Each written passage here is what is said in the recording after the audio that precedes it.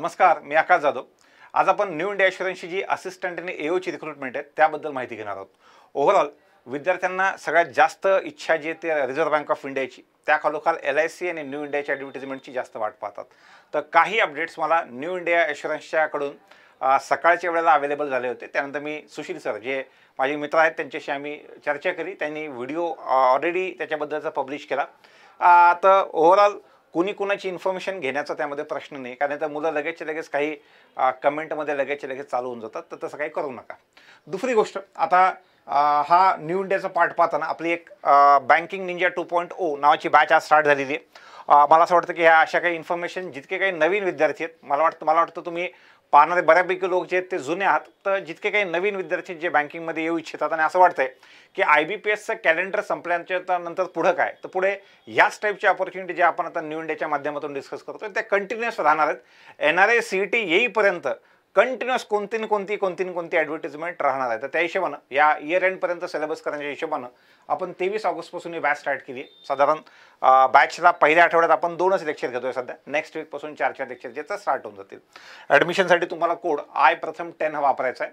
आणि बॅचसाठी फीस तशी सहा हजार आहे. पण आय प्रथम टेन वापरलं की टेन पर्सेंट डिस्काउंट तुमची फीस पाच चारशे प्लस जी एस टी अशी होणार आहे. काही डाऊट असतील तर खाली तुम्हाला नंबर पण दिलेले आहेत किंवा इथे मी अवेलेबल करून दिला आहे. या नंबरवर कॉल करून तुम्ही माहिती जेती होऊ शकतात. फक्त ह्या माहितीचा बॅकग्राऊंड पहिल्यांदा सांगतो. न्यू इंडिया इन्शुरन्सचं जे मुंबई चर्चगेटचं हेड ऑफिस आहे त्या ठिकाणी मागच्या चार पाच वर्षापासून दोन हजार सोळापासून मी त्यांच्या जी कर्मचारी सेना आहे त्यांच्यासाठीचं ट्रेनिंग जे ते कंटिन्युअस ऑर्गनाईज करतो. याआधी ऑफलाईन फॉर्मॅटमध्ये असल्यामुळे ते ट्रेनिंग विकेंडला घेत होतो. पण आता बऱ्यापैकी त्यांनी त्याच्याबद्दलच मला विचारणा केली सकाळी सकाळी की असं ट्रेनिंग पॉसिबल आहे का? तर थोडीशी माहिती मी काढली. तर अजूनसुद्धा मला असं वाटतं टी सी एसच्या साईडपर्यंत ते मॅटर गेलेलं नाही पण त्यांच्या साईडनं एन आय एस एल एओच्या तीनशे वेकन्सीज ज्या आहेत ह्या तीनशे वेकन्सीज अप्रॉक्सिमेट तीनशे वेकन्सीज ज्या आहेत ते येऊ शकतात. तर सगळ्यांनी मला असं वाटतं ज्यावेळेस मी पहिल्यांदा सांगतो की हॅपीनेस इंडेक्समध्ये मी ज्यावेळेस पाहतो की विद्यार्थी सगळ्यात जास्त खुश कुठे आहेत तर आर बी आयच्या ऑब्व्हियसली असिस्टंटच्या जॉबला बऱ्यापैकी मुलांची खुश आहे. त्या खालोखाल मला न्यू इंडिया अश्युरन्समध्ये असिस्टंटचा जो किंवा ऑफिसरचा जो जॉब आहे न्यू इंडिया अश्युरन्सचा मुंबईचं जे कल्चर आहे ते कल्चर खूप चांगलं आहे वर्क कल्चर तिथले मुलंसुद्धा तितके जास्त खुश आहेत. तर ओव्हरऑल हॅपीनेस इंडेक्स या दोन तीन ठिकाणचा चांगला आहे. तर विद्यार्थ्यांनी जे ऑलरेडी प्लेस्ड आहेत किंवा जे आता ॲस्पायर करत आहेत मला मला असं वाटतं त्यांच्यासाठी चांगली ऑपॉर्च्युनिटी आहे.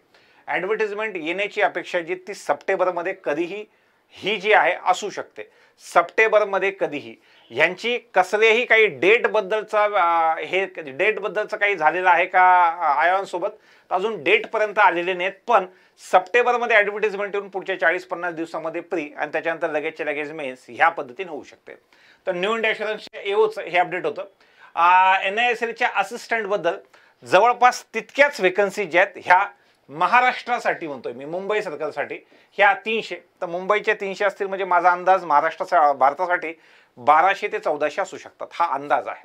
तर एवढ्या वेकन्सी ज्या आहेत त्या असिस्टंटच्या येऊ शकतात.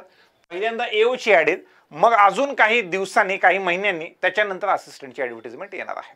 तर ओव्हरऑल ह्या सगळ्या गोष्टी आहेत. दोन्हीसुद्धा पोस्ट ह्या एकदम चांगल्या आहेत. विद्यार्थी तिथले पहिल्यांदा इनफॅक्ट मुंबईमध्ये गेल्यानंतर सुद्धा मला असं वाटतं की आर बी असो किंवा एन एस एल असो ज्यावेळेस मी तिथं जातो किंवा ह्या स्पेसिफिकली चर्चगेटच्या त्यांच्या ऑफिसला मागच्या चार पाच वर्षात गेल्याच्यानंतर खूप पालक लोक जे आहेत जे स्वतः न्यू इंडियामध्ये आहेत. ते म्हणतात की कसंही करा पण याची तयारी अशी करून घ्या की याला न्यू इंडियामध्येच लागला पाहिजे. तर बऱ्यापैकी असं होतं की खूप वेळेस जे जो व्यवसाय पालक करतात तो मुलांनी करू नये अशी खूप लोकांची इच्छा होते. शिक्षकाच्या मुलाला कधी कसे वाटतं की मुलगा शिक्षक होऊ नये? काही मी सगळ्यांना मी एक जनरलाइज नाही सांगत एक ओव्हरऑल सांगतोय त्या पद्धतीनं. तर असं असताना न्यू इंडियामध्ये असे खूप सारे पालक आहेत ज्यांची इच्छा आहे की माझ्या मुलांनी कसं करून न्यू इंडियामध्येच लागावं. मी का विचारल्यानंतर त्यांनी तिथल्या लाईफस्टाईल आणि त्यांच्या वीस पंचवीस वर्षाचे ज्या काही त्यांचे अनुभव आहेत ते अनुभव चांगल्या पद्धतीने शेअर केलेले आहेत. तर मला असं वाटतं आपल्याकडे एक चांगली संधी आहे. वीस पंचवीस टक्के जागा या महाराष्ट्रासाठी असतात असिस्टंटच्या जरी म्हणलं तरी. तर तुम्हाला आय बी पी एसच्या हा टिपिकल पॅटर्न झाल्याच्यानंतर सुद्धा तुम्हाला आपली अभ्यास सोडायचा नाही तो पुढं चालू द्यायचा आहे. सर हा व्हिडिओ कशासाठी? हा व्हिडिओ त्याच्यासाठीच. की आय बी पी एसच्या एक्झामिनेशन संपल्याच्या नंतर सुद्धा ॲडव्हर्टिजमेंट आहेत. म्हणजे तुमचा असं विचार असेल की I B P S clerk संपला I B P S P O संपलं पुढं काय? किंवा मी आता तयारी चालू केली तर मला कोणती एक्झाम समजा मी चार महिने या बँकिंग निंजासोबत स्टार्ट केलं. आणि माझं Aug September October November December गेलं माझं पुढे कसं? कोणत्या पद्धतीत? तर एक्झाम सांगण्याचा मुद्दा N R S C T येईल तेव्हा येईल. त्याच्याबद्दल मी ऑलरेडी सांगितलेलं आहे की N R S C T म्हणजे गर्भसंस्कार म्हणून तुम्हाला सांगितलेलं आहे. तर त्यामुळे ते येईल तेव्हा येईल. आता ह्या पद्धतीने एकानंतर एक ऑपॉर्च्युनिटी येणार आहे. त्यामुळं तयारी करायचं थांबू नका. आज एक बातमीसुद्धा मी शेअर केली होती. ती बातमी होती अबाउट थर्ड वेव्हबद्दल आणि नीती आयोगाचा तो रिपोर्ट होता की त्यांचं असं म्हणणं आहे की सेकंडपेक्षा थर्ड वेव्ह जास्त प्रखर असू शकते. असं देवाकडे आपण मागितलं पाहिजे की असं होऊच नाही पण ओव्हरऑल ह्या सगळ्या गोष्टींनी गव्हर्नमेंटची ही सगळी तयारी पाहता. मला असं वाटतं की खूप कमी चान्सेस आहेत की इमिजिएट लगेचच्या लगेच ऑफलाईन आणि बाकी सगळ्या गोष्टी स्टार्ट होण्याची. जिथे कुठे असाल ज्या कोणत्या मोडमध्ये मीडियममध्ये तुम्ही आहात तिथून तुमचा तुमचा अभ्यास तुमच्या पद्धतीने स्टार्ट करून द्या. थांबू नका. तुम्हाला जसं स्टार्ट करायचं त्या हिशेबाने चालू करा. खूप लोक अजूनही ह्या आसवर आहेत मागच्या अं, आशेवर आहेत मागच्या दीड वर्षापासून की जेव्हापर्यंत ऑफलाईन स्टार्ट होत नाही मी तेव्हापर्यंत अभ्यास करत नाही. मला असं वाटतं हा पूर्ण तुमचा पॅटर्नच चुकीचा आहे. तुम्ही पहिल्यांदा तुमच्या तुमच्या हिशोबाने चालू करून द्या. मला तेच सांगायचं होतं की याच्यानंतरही कंटिन्युअस रिक्रुटमेंट आणि नोटिफिकेशन जे ते येत राहणार आहेत. बाकी आर बी आय किंवा बाकी काही गोष्टींबद्दल कळालं की मुलं लगेच कमेंटमध्ये विचारतात. तर माझं असं म्हणणं की कळालं की ते काही लपून ठेवण्याची पार्ट नाही आहे लगेच आपण दिवसा त्याच दिवशी संध्याकाळपर्यंत त्याच्याबद्दलचे अपडेट ते टाकतच असतो. त्यामुळे खूप लोड घेऊ नका.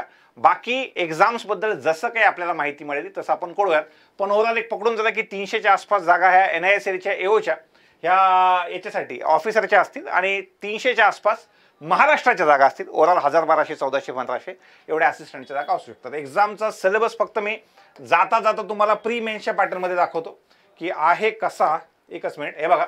तुमचा टिपिकल पस्तीस पस्तीस तीसवाला पॅटर्न आपल्या आय बी पी एसच्या प्री एक्झामिनेशनचा जसा असतो तसाच पॅटर्न आहे. आणि मेन्सच्या पॅटर्नमध्ये पन्नास पन्नास मार्काचे चार section reasoning English G A आणि कम्प्युटर क्वांट अशा पद्धतीने पन्नास क्वेश्चन पन्नास मार्क आणि कॉमन एकशे वीस मिनिटाचा वेळ जो आहे तो दिलेला आहे. दोनशे मार्काची मेन्स आणि तीस मार्काचं डिस्क्रिप्टिव्ह अशा पद्धतीनं एओचा जो पॅटर्न आहे तो एओचा पॅटर्न असणार आहे. तर वाट बघू नका. मॅक्सिमम तुम्हाला एक चांगली ऑपॉर्च्युनिटी मिळालेली की आय बी पी एस कधी कधीची एक्झाम रिजनल लँग्वेजच्या निमित्तानं कोणा पुढे गेलेली आहे. असलेल्या ऑपॉर्च्युनिटीज चांगल्या पद्धतीनं सोनं करा. क्लरिकलची एक्झाम आहे अजून पी ओची एक्झाम आहे. याच्यानंतर ह्या न्यू इंडियाची एक्झाम आता ज्यावेळेस येईल त्यावेळेस आर बी आयची एक्झाम ह्या सगळ्या ऑपॉर्च्युनिटी तुमच्या हातात आहेत. बस त्याला मॅक्सिमाइज करण्याचा प्रयत्न करायचा आहे. आज सकाळच्या ह्या अपडेटमुळं मी संध्याकाळपर्यंत थोडासा वेळ लागला पण संध्याकाळपर्यंत तुम्हाला हे अपडेट द्यायचं होतं ते मी दिलं. धन्यवाद.